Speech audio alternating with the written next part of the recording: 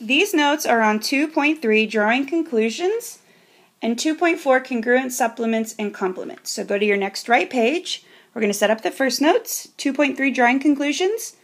The essential question is how can I draw my own conclusions? And then draw your vertical line. There are five procedures for drawing conclusions. The first one is you need to know and memorize your theorems, definitions, and postulates.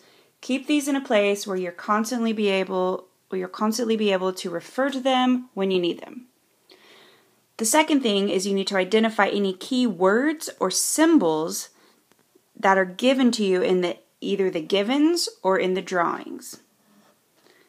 Number 3, think of all the theorems, definitions and postulates that you know that will relate to those key words and symbols. Number 4, then you're going to decide well which theorem, definition, or postulate will allow you to draw some sort of conclusion. And then step five, you will draw your conclusion and justify with a supporting theorem, definition, or postulate, either in a two column proof or in a paragraph proof. Let's try an example or two.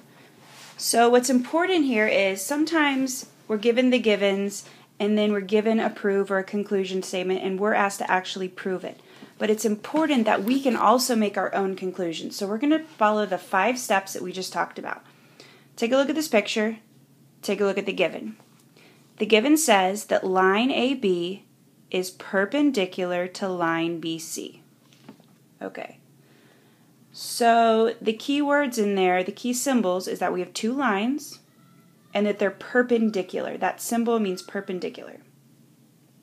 So if we think of the theorems and definitions of postulates that we already know, last time we learned that perpendicular lines intersect at right angles. So based on that theorem, we might be able to draw a conclusion. The conclusion might be, well, since perpendicular lines intersect at right angles, we can say that angle ABC is a right angle.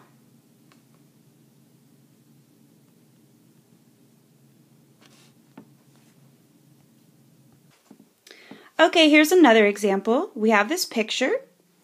We are told by our given that angle DEF is complementary to angle HEF Okay, remember what complementary means. Complementary means that if you add them together, they will equal 90 degrees.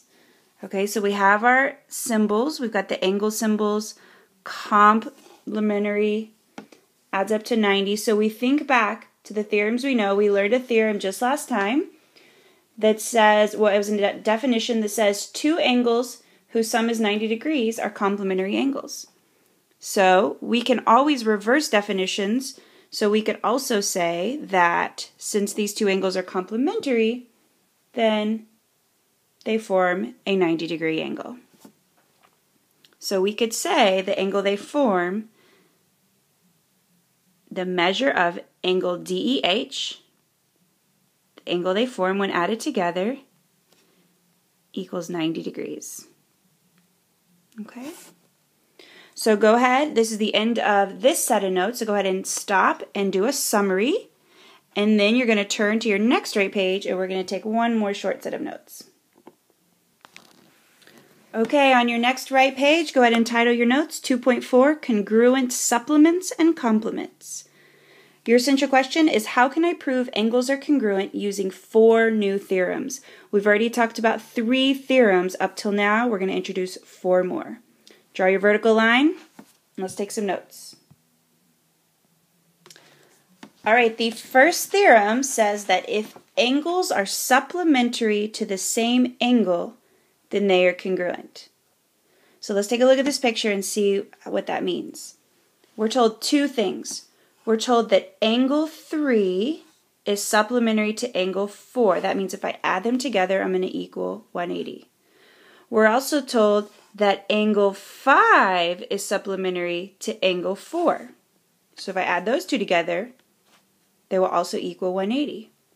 So therefore, since they're both since both angle 3 and angle 5 are being added to angle 4 to equal 180, we can now say because of this theorem that angle 3 is congruent to angle 5. They have to have the same measure. The next theorem states that if angles are supplement to congruent angles, then they are congruent. So let's see what that means. Look at these givens. It says angle F is supplementary to angle G. So if I add those two together, I will equal 180. It also says that angle H is supplementary to angle J. So if we add those two together, that will equal 180. Then this is really important. It also says that angle G is congruent to angle J. So therefore, according to this theorem, we can now say that angle F is congruent to angle H. They have to have the same measure because they have to add to the same measure to equal 180. So angle F is congruent to angle H. The last two theorems are variations of the first two theorems I just gave you about supplementary angles. They say the exact same thing, take out the word supplementary and change it to complementary. Remember that complementary means they add up to 90 degrees. So look at the first one. If angles are complementary to the same angle, then they are congruent. So if I have two different angles and they're both complementary to the same angle, they both add up with that angle to equal 90 degrees, then that means those two original angles are congruent. The next one says if angles are complementary to congruent angles, then they are congruent. So think about the last one we just did on the last page. If I have two angles and they're both complementary to two other angles, and those two other angles happen to be congruent, then those first two original angles must be congruent because they have to add to the same measure to equal 90. So that's it. Go ahead and stop. Write your summaries for both sets of notes if you haven't already, and I'll see you next class.